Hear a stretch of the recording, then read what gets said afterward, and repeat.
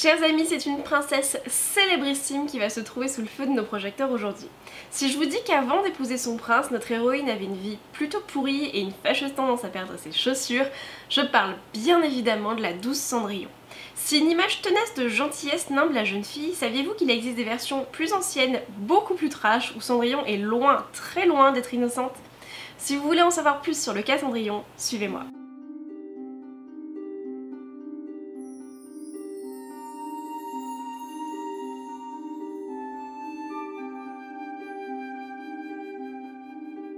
L'histoire de Cendrillon, qui ne s'appelle pas toujours Cendrillon d'ailleurs, est l'un des contes les plus universels et les plus intemporels qui puissent exister.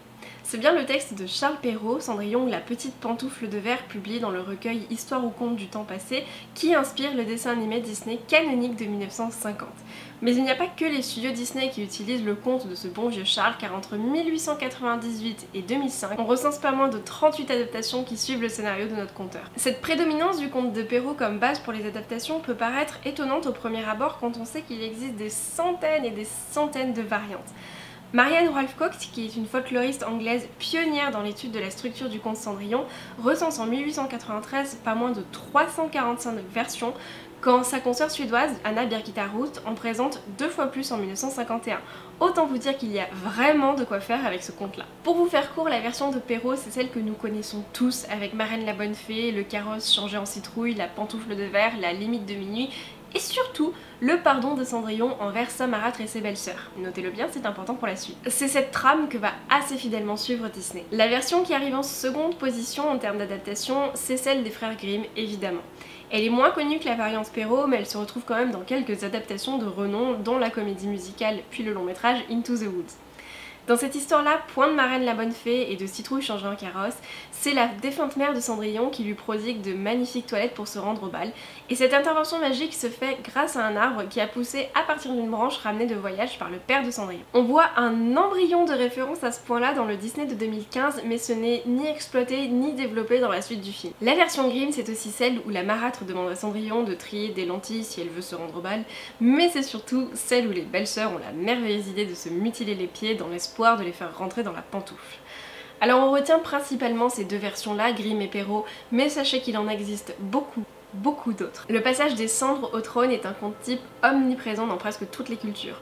On peut très facilement remonter jusqu'à l'Antiquité grecque avec Strabon qui nous raconte l'histoire de Rhodope, une esclave grecque dont un aigle vole la chaussure et va la laisser tomber devant un pharaon qui à partir de ce moment-là n'aura de cesse de retrouver la jeune fille à qui appartient ce soulier pour l'épouser. Cette histoire est consignée par écrit pour la première fois en Chine au 9e siècle avant Jésus-Christ et de fait il existe beaucoup de versions asiatiques. Côté français, outre Perrault, on a Finette Cendron de Madame d'Aulnoy ou l'histoire de la princesse Rosette par Madame de Ségur. Et il est important de noter qu'il existe beaucoup de variantes avec une Cendrillon masculine, donc un, homme à la place de Cendrillon, dont une particulièrement célèbre dans le folklore norvégien. Une des versions les plus intéressantes n'est autre que la Gatta Cenerentola, autrement dit la chatte des cendres, de l'auteur italien Giambattista Basile. Alors la légende littéraire veut que ce texte-là ait inspiré celui de Perrault, sauf qu'au moment où Perrault a écrit Cendrillon, la Cenerentola n'avait pas encore été traduite et ne circulait que dans un patois napolitain.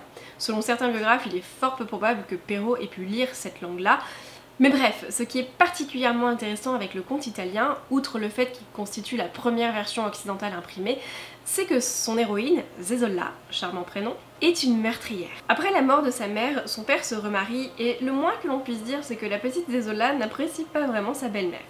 Elle va aller se plaindre à sa gouvernante en lui disant qu'elle aurait carrément préféré que ce soit elle que son père épouse et l'idée va plutôt séduire la gouvernante qui va conseiller à la petite fille de briser la nuque de sa belle-mère en refermant très violemment un coffre à vêtements sur sa tête. Hmm. Une fois le méfait accompli et la première belle-mère écartée, Zezola va conseiller à son père de se marier avec la gouvernante qui va s'avérer être dix fois pire que la première belle-mère et qui va rendre la vie impossible à la petite Zezola avec l'aide de ses six horribles filles. On revient ensuite au déroulement classique de l'histoire. C'est une des seules versions où le personnage qui correspond à Cendrillon commet une faute grave, n'est pas innocente, et on va alors lire ces mésaventures comme une expiation, comme une punition méritée, et on va voir dans le dénouement une forme de rédemption.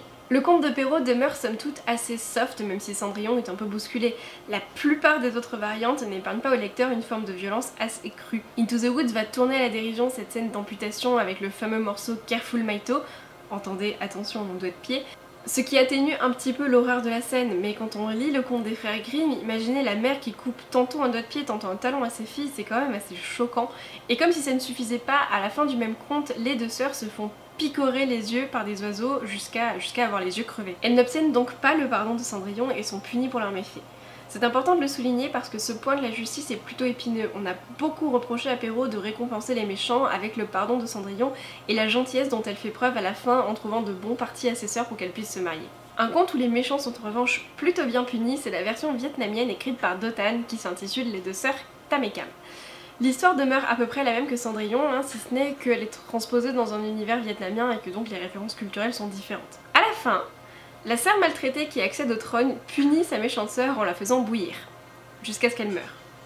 Après quoi, elle va conserver le corps dans une jarre en lui appliquant les mêmes procédés que de salaison que pour la viande séchée et va la donner à manger à sa mère jusqu'à ce que celle-ci découvre au fond de la jarre la tête de sa fille et meure de dégoût, de désespoir et de tout ce que vous pouvez imaginer dans cette situation-là. On comprend un peu mieux pourquoi Disney s'est quand même contonné à la version de Perrault. Perrault qui dans son texte enlève de la violence pour ajouter une bonne dose de magie. C'est à lui que l'on doit l'invention de Marraine la Bonne Fée, de la citrouille changée en carrosse, des douze coups de minuit et surtout de la pantoufle de verre. Notez que si dans toutes les versions il est question d'une chaussure, on ne précise jamais sa matière à part chez Perrault. Cette pantoufle de verre va être l'objet d'une jolie controverse littéraire. On a en effet longtemps cru qu'il s'agissait d'une pantoufle de verre, autrement dit faite à partir de fourrure d'écureuil, et ça c'est la faute à Balzac. Alors vous allez me dire qu'est-ce que Balzac vient faire dans cette histoire? Eh bien il se trouve qu'en bon auteur réaliste qui était, il a décrété que cette pantoufle ne pouvait pas être faite de verre parce que le verre c'est fragile, que Cendrillon n'aurait pas pu marcher dessus sans les briser. Il a donc supputé que le verre était devenu du verre suite à une erreur de transcription sans se donner la peine d'aller vérifier dans la version de 1697. Émile Littré, le lexicographe, va reprendre cette information dans son dictionnaire de la langue française sans non plus chercher à vérifier et va participer à propager cette méprise. Car en effet, si l'argument est logique, il est tout simplement faux. Charles Perrault a mis en scène une pantoufle de verre et elle ne se casse pas parce que c'est magique. Point. Bon, quoi qu'il en soit, qu'elle soit faite de verre, de verre ou de quelque matière que ce soit, il y a presque toujours une chaussure dans les variantes de Cendrillon et c'est devenu un objet emblématique des adaptations. Pour Bruno Bettelheim, cette omniprésence de la pantoufle est liée à la sexualité, comme souvent chez Bettelheim. Il va dresser une analogie entre la chaussure et le vagin, parce que la pantoufle c'est un petit réceptacle où on va venir glisser une partie du corps, et que Cendrillon la perd facilement à la fin du bal comme elle pourrait perdre sa virginité. Alors on peut reprocher à Bettelheim ce raccourci un tant soit peu rapide, mais l'idée d'une chaussure vagin est intéressante si elle est mise en relation avec la scène où le prince reconnaît Cendrillon. Lui rendre sa chaussure vagin, c'est un peu comme lui rendre sa féminité qui avait été bafouée par ses belles-mères et sa marâtre. L'histoire de Cendrillon propose presque toujours une optique un peu sexualisante avec deux images de la femme à concilier pour atteindre la perfection de la princesse. D'un côté l'idéal féminin sublimé mais humble qui attire tous les regards et de l'autre la femme simple, bonne maîtresse de maison, voire un peu farouche.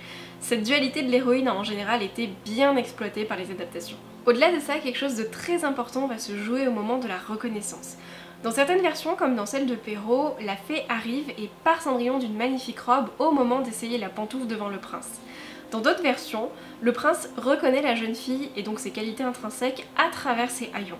C'est bien cette problématique que va soulever le personnage de Cendrillon dans Into the Wood en se demandant si elle devra mentir pour toujours ou si le prince sera capable de l'aimer telle qu'elle est. Et on insiste sur ce point dans les versions où les sœurs se coupent des morceaux de pied parce qu'on les oppose à Cendrillon qui elle cherche à se faire aimer telle qu'elle est vraiment. Quand elle n'est pas habillée en princesse, la condition de Cendrillon c'est d'être une souillon. Hein. C'est pas pour rien si on l'appelle Cendrillon, c'est parce qu'elle vit près de la cheminée et des cendres qui la salissent. D'ailleurs Cendrillon est un surnom plutôt gentil quand on sait que la plus méchante des deux sœurs chez Perrault l'appelle Cendron, littéralement le cul dans les cendres. S'ils rectifient le tir dans le film de 2015, dans leur dessin animé, les studios Disney ne prennent pas la peine de montrer Cendrillon près des cendres et donc d'expliquer son surnom, ce qui est plutôt dommage parce que la portée symbolique des cendres n'est pas anodine. Le fait que Cendrillon soit intrinsèquement lié aux cendres et donc à l'âtre de la cheminée est loin de la vilir comme on pourrait le croire au premier abord et va au contraire souligner sa pureté. On pense aux Vestales du monde romain, ces jeunes filles vierges, donc pures et innocentes, étaient les gardiennes du foyer et devaient entretenir et protéger le feu sacré et cette tâche les propulsait à un haut rang de la société puisqu'elles servaient directement la déesse mère.